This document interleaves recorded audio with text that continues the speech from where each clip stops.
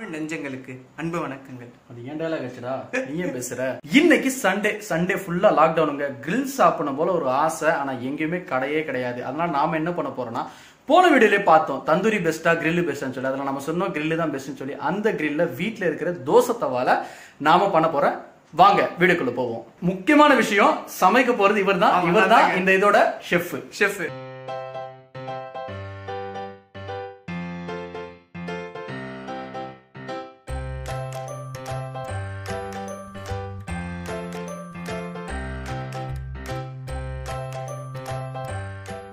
இப்போ chicken order பண்ணிட்டோம். Tawa grill பண்ணுறதுக்காக இப்போ நம்ம சிக்கன் ஓப்பன் பண்ண போகிறோம் மேரினேட் பண்ண வேண்டி.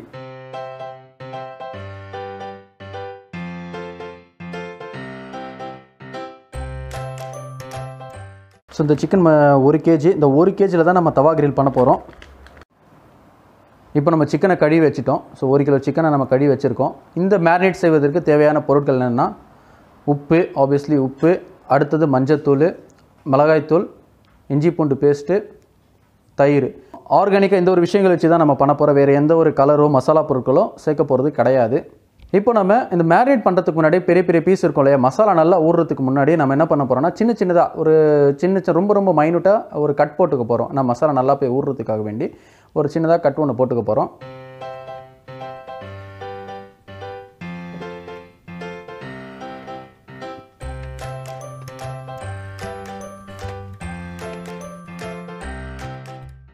இப்போ நம்ம கட் பண்ணி அந்த அதாவது சின்ன சின்ன மைனூட்டாக கட் பண்ணி நம்ம வச்சுருக்கோம். இதில் நம்ம மசாலாவை கலக்க போகிறோம் ஸோ ஃபஸ்ட்டு தயிர். தயிர் ஒரு ரெண்டு ஒரு மூணு டீஸ்பூனு மஞ்சத்தூள். சின்ன இதில் ஒரு ரெண்டு நீங்கள் பெரிய டீஸ்பூனா ஒரு டீஸ்பூன் மிளகாய்த்தூள். ஸோ மிளகாய்த்தூள்னால் ஒரு ஒன்றரை டீஸ்பூன் இல்லை ஒன்றரை இல்லைன்னா ரெண்டு டீஸ்பூன் ஸோ டேஸ்ட்டுக்கு ஏற்ற மாதிரி. உங்களுக்கு காரம் பிடிக்காதுன்னா ஒன்றரை டீஸ்பூன் போட்டுக்கோங்க. இல்லை நல்லா எனக்கு நல்லா ஸ்பைஸியாக இருக்கணும் ரெண்டு டீஸ்பூன் போட்டுக்கோங்க. அடுத்தது இஞ்சி பூண்டு பேஸ்ட்டு இஞ்சி பூண்டு பேஸ்ட்டை பொறுத்த வரைக்கும் அந்த நேரத்தில் அரைச்சி போட்டால் டேஸ்ட் நல்லா இருக்கும். ஸோ இப்போ ஃபாஸ்ட் ஃபுட் உலகங்கிறதுனால நம்மகிட்ட ரெடியாக ஒரு இஞ்சி பூண்டு பேஸ்ட் இருக்குது அதை நம்ம யூஸ் பண்ணிக்கிறோம். ஸோ இஞ்சி பூண்டு பேஸ்ட்டை பொறுத்த வரைக்கும் ஒரு ரெண்டு டீஸ்பூன் அடுத்தது சால்ட்டு உப்பு பொறுத்த வரைக்கும் தேவையான அளவு. ஸோ உங்களுக்கு என்ன தேவையான அளவு பார்த்துங்க அதுக்கேற்ற மாதிரி போட்டுக்கோங்க. ஸோ நார்மலாக ஒரு டீஸ்பூனு ஸோ அதை நல்லா நம்ம மிக்ஸ் பண்ணணும். ஸோ நல்லா பர்ஃபெக்டாக மிஸ் பண்ணணும். அந்த வாசனை அப்படியே மூக்கை தொலைக்குது. அந்த இஞ்சி பூண்டு பேஸ்ட்டு அந்த மஞ்சள் மிளகா ஏன்னா நம்ம எந்த மசாலாவும் கலக்க போகிறது கிடையாது. ஸோ பியூர் ஆர்கானிக்கு மிளகாத்தூள்லாம் கடையில் வாங்குறதுக்கு பதிலாக நாமளே வாங்கி நல்லா இது பண்ணி அரைச்சி வச்சோன்னு சொல்லுங்களேன். டேஸ்ட்டு இன்னும் நல்லா தூக்கும்.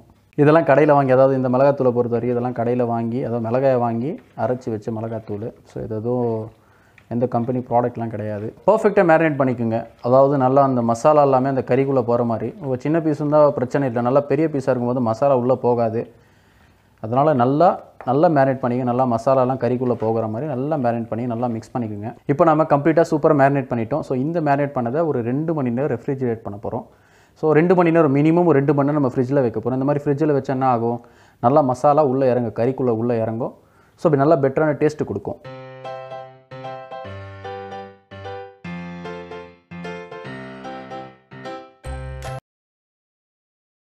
ஸோ நம்ம இப்போ ஃப்ரிட்ஜிலேருந்து எடுக்க போகிறோம் கிட்டத்தட்ட ரெண்டு மணி நேரம் ஆச்சு. உள்ளே வச்சு இப்போ ஃப்ரிட்ஜிலேருந்து நம்ம எடுக்க போகிறோம் மேரினேட் ஆனது. ஸோ நம்ம கேஸ் ஸ்டவ்வில் தவா வச்சுட்டோம். ஸோ தவாவை அதாவது அடுப்பு ஆன் பண்ணி வச்சு இப்போ தவா சூடாகிட்டு இருக்கு நல்லா சூடாகட்டும். உங்களுக்கு தேவையான ஆயில் போட்டுக்குங்க. ஆயில் போடாமல் கூட தாராளமாக பண்ண முடியும். ஆனால் என்ன பிரச்சனை? ஆயில் போடாமல் பண்ணால் கொஞ்சம் பிடிக்கும். அதனால் ஆயில் தேவைன்னா போட்டுக்கோங்க. ஸோ தேவையில்லைனா கூட பெட்ரு இப்போ மசாலா தடவைனா நல்லா மேரினேட் பண்ண அந்த ஒரு சிக்கனை நம்ம என்ன பண்ணோம்? தவாவில் ப்ளேஸ் பண்ண போகிறோம்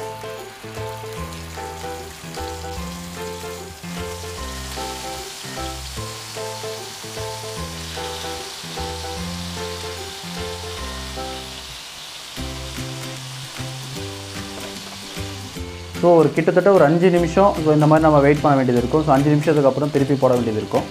ஸோ ஒரு மொத்தம் ஒரு பதினஞ்சு நிமிஷம் தான் எடுக்கும். ஸோ ரொம்ப டைம் எடுக்காது. ஒரு ஃபிஃப்டீன் மினிட்ஸில் உங்களுக்கு ஸோ வீட்லேயே அதாவது home made tawa grill ready ஆகிடும் ஸோ நம்ம இதை திருப்பிட்டே இருக்கணும். ஒரே இடத்த விட்டால் கொஞ்சம் அடி பிடிச்சிரும். இதை நம்ம லைட்டாக திருப்பிட்டே இருக்கணும். ஒரு முந்நூற்றறுபது டிகிரியில் ஏன்னா எல்லா பக்கமும் வேகணும் இல்லையா? ஏன்னா இது கிரில் செட்டப்பு கிடையாது தவா செட்டப்புங்கிறதுனால மேலே கீழே மட்டும்தான் வேகும் சைடில் வேகாது. அதனால நம்ம ஒரு அப்பப்போ கொஞ்சம் ஒரு இடம் ஒரு பக்கம் வெந்த உடனே திருப்பி போட்டுகிட்டே இருக்கணும். இப்போ பார்க்குறதுக்கே கொஞ்சம் கொஞ்சமாக அந்த ரெட்டிஷாக அந்த ஒரு ரெட்டும் ப்ரௌனும் கலந்த மாதிரி மாறிட்டே வருது. இப்போவே சாப்பிட்ணும் போல் இருக்குது கொஞ்சம் வெயிட் பண்ணுவோம். பசிக்குது கொஞ்சம் வெயிட் பண்ணுவோம்.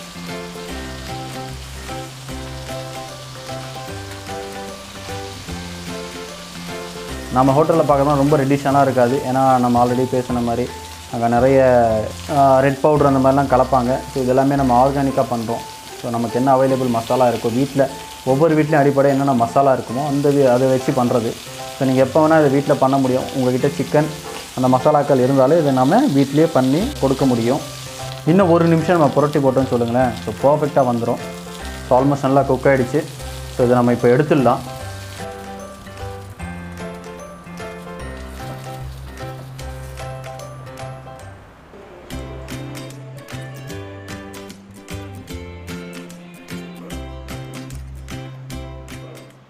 நம்ம ப்ரிப்பேர் பண்ணிட்டோம். அதாவது வீட்டில் இருக்கிற தவ்வால் செஞ்ச கிரில்லு ஸோ நம்ம இதை டேஸ்ட் பண்ணி பார்க்க போகிறோம் ஸோ எப்படி இருக்குங்கிறத பார்ப்போம்.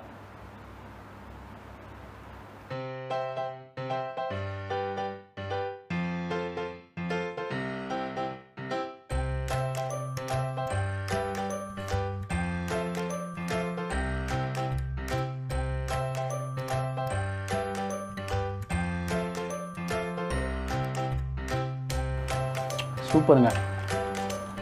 இன்னும் என்னென்னா வீட்டில் செஞ்சது இல்லையா? ஸோ கடையில் செஞ்சதை விட ரொம்ப ரொம்ப பெட்டராக இருக்குது இந்த மாதிரி ஆரோக்கியமாக வீட்டில் செஞ்சு பாருங்கள் ஸோ கடையில் வாங்குறதுனா கடையில் நிறைய பொருளெல்லாம் மிக்ஸ் பண்ணுவாங்க. என்ன மிக்ஸ் பண்ணுறாங்களே தெரியாது. ஸோ நீங்கள் இந்த மாதிரி வீட்டில் செஞ்சு பார்த்தீங்கன்னா ரொம்ப ஆரோக்கியமாகவும் இருக்கும். ஓகே ரொம்ப சூப்பராக இருக்குது இந்த வீடியோ உங்களுக்கு கண்டிப்பாக பிடிச்சிருக்கும். இந்த வீடியோ உங்களுக்கு பிடிச்சிருந்தா லைக் பண்ணுங்கள் ஷேர் பண்ணுங்கள் மறக்காமல் அன்புடன் நண்பன் சேனலை சப்ஸ்கிரைப் பண்ணுங்கள் இணைந்திருங்கள் அன்புடன் நண்பனுடன் அறிவே துணை அறிவாய் உணை நன்றி வணக்கம்.